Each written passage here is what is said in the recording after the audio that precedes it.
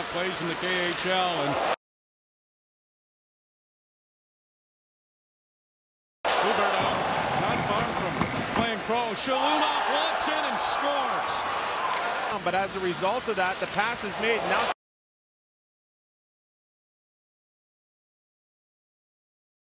Shalunov is taking it against Brouillard. Makes a nifty